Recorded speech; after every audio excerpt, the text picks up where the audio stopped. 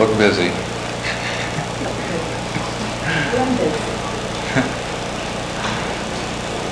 What are we supposed to be doing?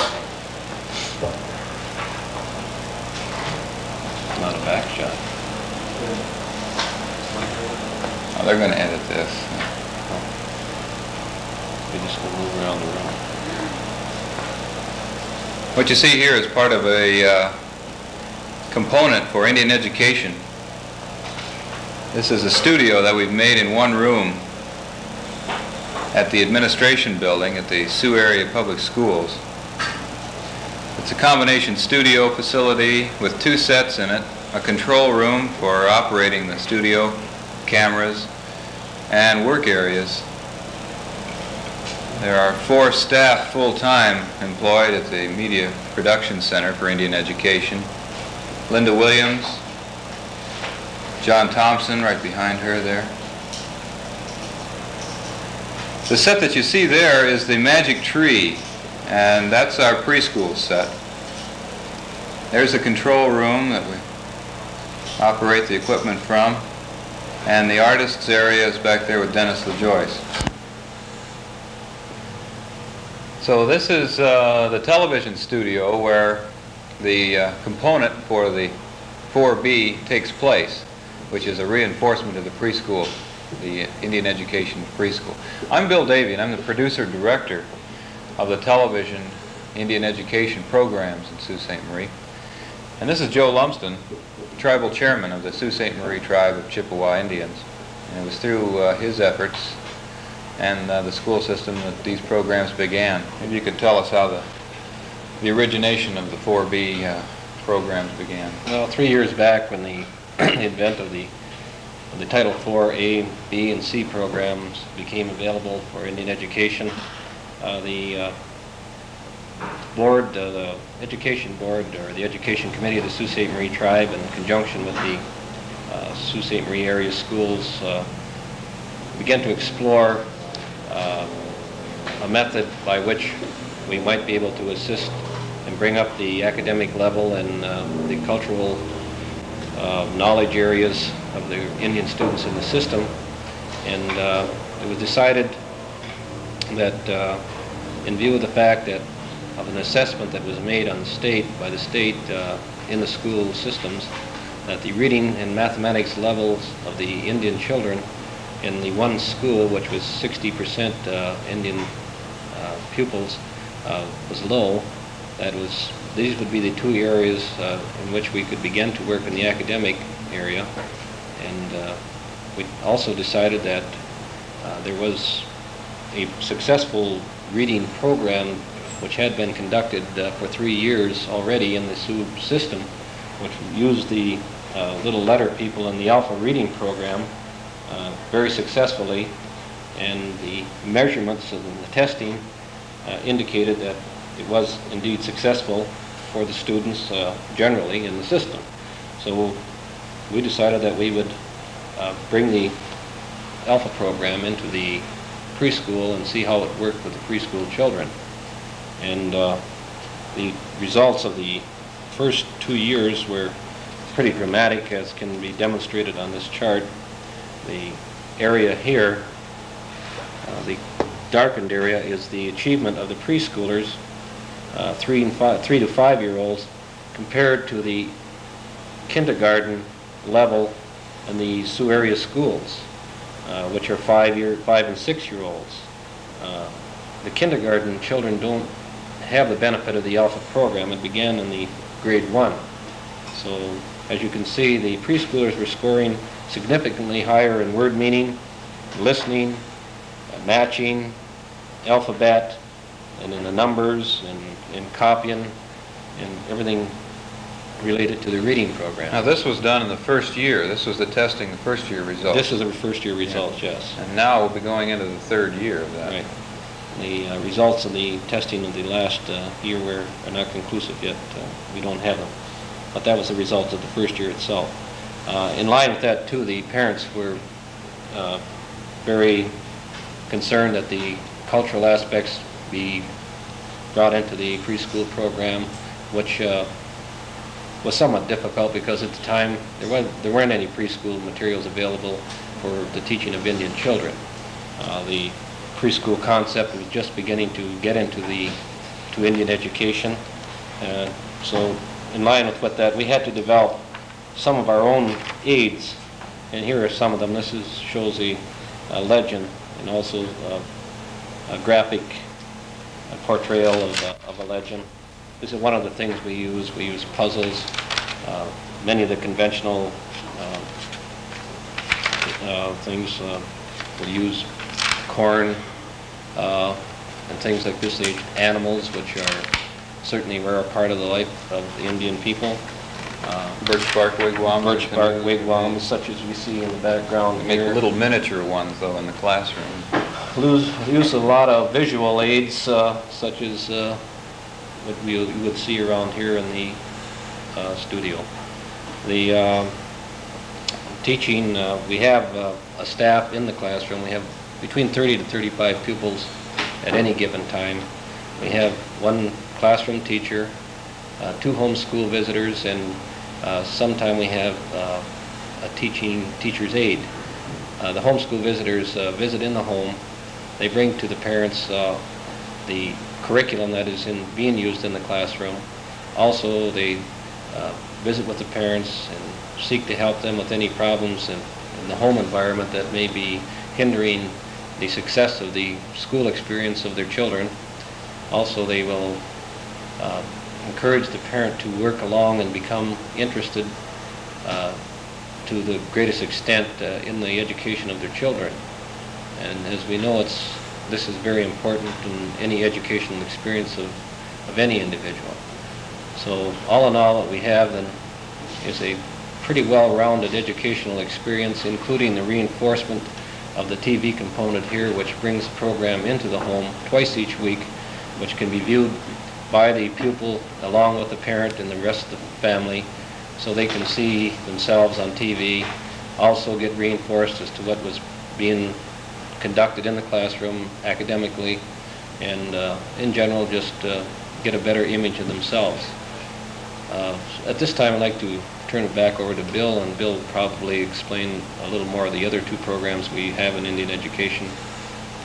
I might want to cover one thing, that uh, Title 4B is an Indian education, a component of the Indian Education Act, uh, which we're funded under. The need was established for Indian education in this area, and then uh, it was done, uh, the grant was uh, written It's to To, to the uh, tribe, yeah, it's a tribal contract. Uh, The contract for the Part B is to the tribe.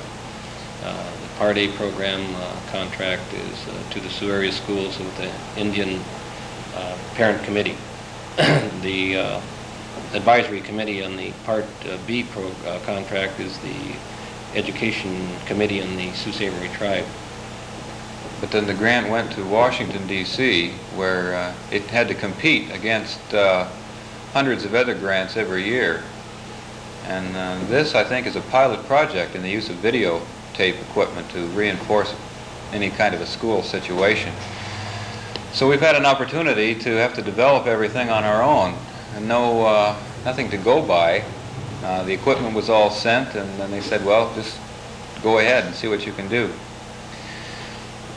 So what we've done, and I'll explain a little bit about the television component of our program.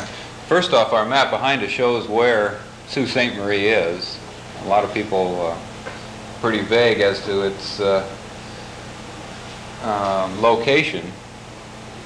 The Upper Peninsula of Michigan exists here, and we're at the very end over here, right next to Canada, Lake Superior here, Lake Huron, and Lake Michigan. This has traditionally been a center for Indians of this area, woodland Indians. Chippewa, the Sioux have been here, the Menominee, the Ottawa, the Potawatomi, Iroquois. the Iroquois. Um, Today, it's Chippewa, most entirely in this area. So, to get back to the uh, television component of our program, its main function is to reinforce the classroom, uh, to be played back to the children Actually, there's three, three parts to the program. One is to reinforce what's going on in the classroom back to the children by means of, uh, oh, puppets. The set that you see here is just part of our program. The magic tree takes place in the tree that's back over here. Now, it's a hollow tree, and then the other part of the set that you saw at the beginning is the inside of that tree. And all these characters live in the tree. It's a magic tree in the forest, just outside of where these children live. And this is a Pukwudgie, a wood elf of the forest. Pukwudgie means little person who lives in trees. It's a traditional Chippewa Indian character, and we took him out of uh, the folklore of the Chippewas of this area. And being a wood elf, he can uh, inherit the memory of his ancestors. So he becomes very valuable in teaching people about how the thing, how things were uh, when the Indians lived here many hundreds of years ago, and the traditions and the beliefs and uh, the legends are one primary way that uh, all history was transmitted by the Indians. So he becomes a central character in the transmission of some of these legends. We do a lot of research to break down these legends, to put them on an elementary level for the students. There's, there's been quite a bit of uh, research done by various, various authors uh, on the subject of uh, Indian culture and heritage through their legends.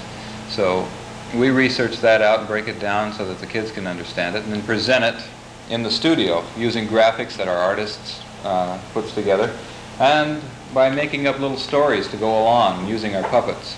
The kids relate very well to these, and they know their names, they know their characteristics. And this is Roscoe the raccoon, who's a rascally little guy and always gets in trouble and has to be reprimanded by Cecil Skunk. Or Bobcat. And then we have uh, a big character, Barry the Bear. And one of us dresses up in that bear suit. We either come in the set as Barry the Bear, or uh, that's the character that goes out into the community and takes the letter people that were mentioned earlier. We go out to the stores, the various businesses, uh, visit the doctor or the dentist. With Mr. T, we took him to the dentist to give the kids an idea of what it was like to go to the dentist. Many of them have never been there. And we actually watched a filling being uh, put into a child's mouth and uh, the whole episode, I think, left the kids with a feeling that it really isn't so bad to go to the dentist, and that was one reason why we did it. Well, we do this with all the letter people, because that's one of the components uh, within the preschool reinforcement, is presenting these letter people in a different way, in an entertaining way. Uh, the second part of our program is Indian culture and heritage, which we've touched on, in which we get into legends, get into uh, a segment called The Indians Knew, which contrasts the way the Indians did things traditionally how we've learned from those things and how we use that information today. The other segment is called uh, the Woodland Way, or the Way of the Wild, rather, and that uh, we try to show the animals that live in this area and also the ecology of this area. We explain about uh, the herbs and the trees and uh, how they were used, how the Indians used those, and how that they're, they exist there for us to use today. And we also uh, try and teach values through different skits, morals and, and things like that through the use of the puppets, confrontations with various characters. The third part of our program, and one of the very important parts, is that we go into the preschool and we film what's going on that week. And then we edit that into our program, which is usually about a half an hour long each week, the Magic Tree.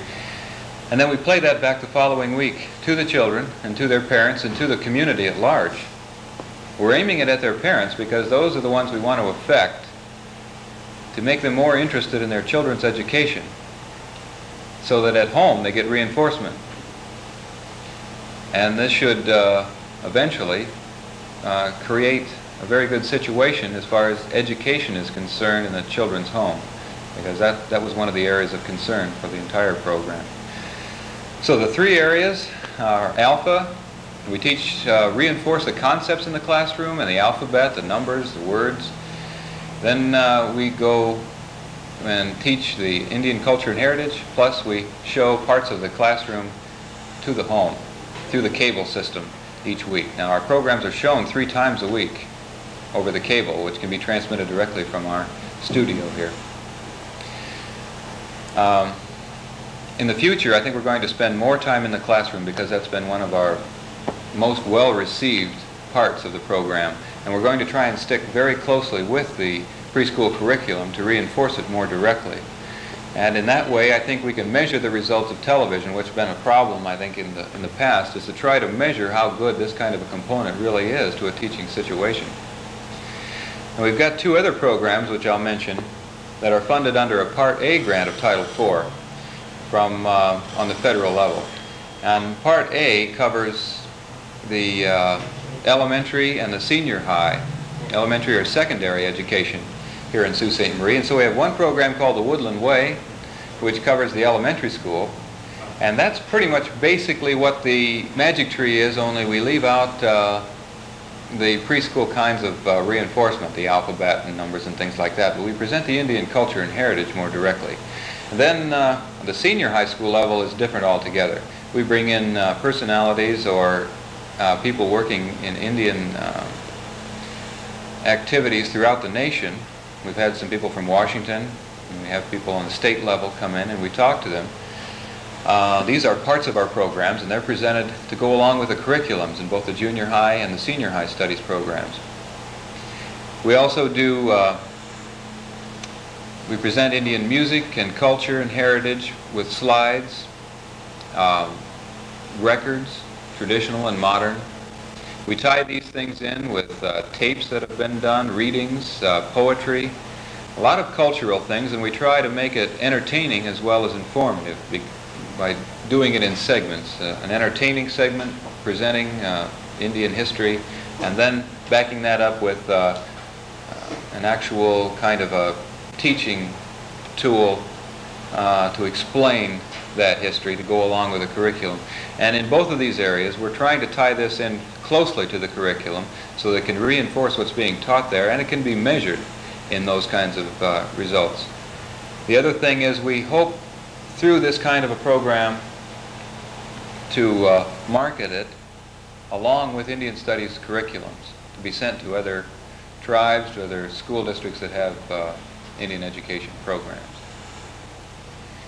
We've had a lot of help through the community, resource people, Indian craftsmen. The set that is behind us here was donated by an Indian craftsman in our community. It's a, it's a Chippewa wigwam made out of birch bark.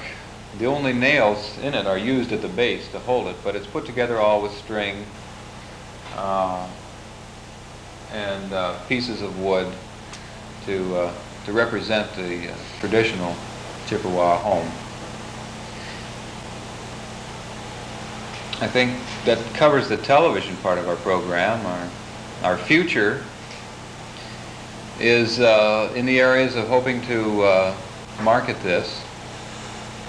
Obviously, it isn't the kind of program that can be funded indefinitely. It is expensive, although it's done on a minimal scale as far as television is concerned. All the equipment that we have is uh, black and white. It's probably the cheapest TV studio you can put together for this kind of an activity, but it has been effective, and we are accumulating a lot of tape in our programs, and we hope that this can be shared. We've had a lot of requests nationally.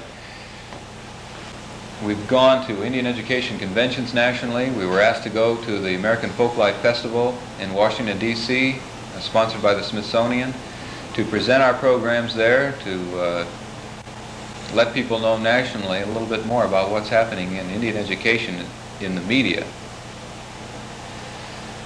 Is there anything you'd like to add to? The thing is, the one that's, we have to do the work on right now is the one on the cultural heritage uh, segment, uh, where we can, whereby we can develop a packet that you mentioned, or some teaching aids and things that can be disseminated nationally. Uh, we feel this as being one of the functions and one of the objectives of this program, and uh, we have stressed this uh, to the Office of Education, Indian Education in Washington, uh, and it was uh, the was the way we were pursuing the development as, as we are where we are today. I just hope that uh, we'll be able to continue uh, in this area, because there's certainly in our travels, we've noted that there's a definite need uh, for these types of materials. Uh, Preschool programs, Indian preschool programs are becoming very evident all across the country, as I find out as I travel about. It's a definite uh, area of education that uh, is getting a lot of attention by tribes, reservation tribes and urban groups, and uh, of course preschool nationally, uh, even with non-Indian groups, is becoming uh, the thing.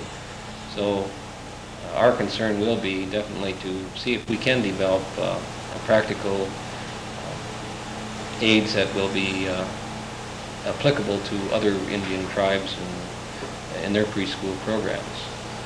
Uh, Also, we, we're glad that we can service uh, the community. We are disseminating uh, Indian culture uh, to the community. We have a uh, community here of about 20% Indian population, and the other 80% is non-Indian, so we are providing a uh, community enlightenment of Indian values, uh, Indian culture, making uh, the community aware, aware of Indian people, that we, uh, Indian people then can get some pride in themselves, and this is why we have to be really concern ourselves with doing this thing in, in good taste and being factual.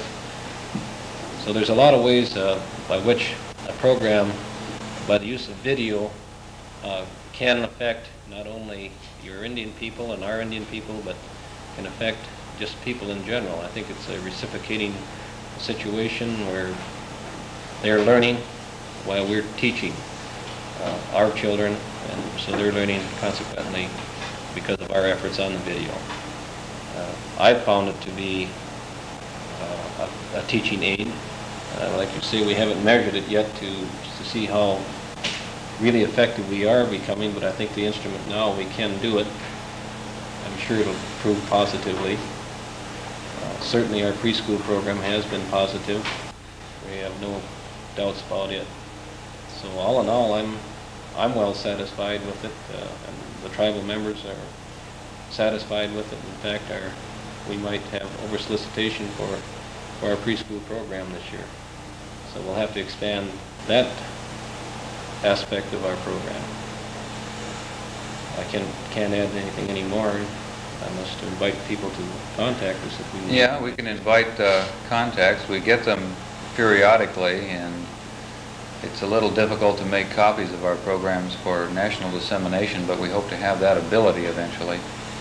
On a local level, we've had uh, open houses and uh, a lot of, over 500 people last year just to to come in to see what we're doing, because something like this, it's imperative that the public relations go along with it. A lot of money is being put into it, and uh, the community needs to know what's being done and how the money is being spent. It is tax money, and this has been uh, something to contend with, I think, in all of these programs. We have to let them know how it's, what the function is, and uh, really how we're spending the money and what we've got going here. I think one of the biggest things too that the Indian education program has created, it has created an interest by Indian parents. Uh, we're talking about a, a very active Part A uh, parent committee, which is composed of approximately 40 parents. And we're also talking again with a like number of uh, uh, 80 parents who are involved in our preschool program. So we're talking about 120 parents there. We're affecting a lot of, of uh, Indian parents who be, who before, I think, uh, didn't really become this involved in uh, education. But we have got them involved in education. Uh, Whereas uh, three years ago, we may have had uh, at the most six or seven high school graduates. Uh, Last year, 1975, I'm speaking of, we had 42. So it's uh, definitely making an impact, I think, and we, we like to feel it's part of what we're doing. That's uh, creating some of these statistics that we can, are now getting. And I'm sure with all the interest being shown by Indian people all the way, I think everything combined is what's going to do the trick. So, uh, speaking on for the tribe, I, I can say that we're happy with it. And I, I just hope that we can continue to get the results we've been getting.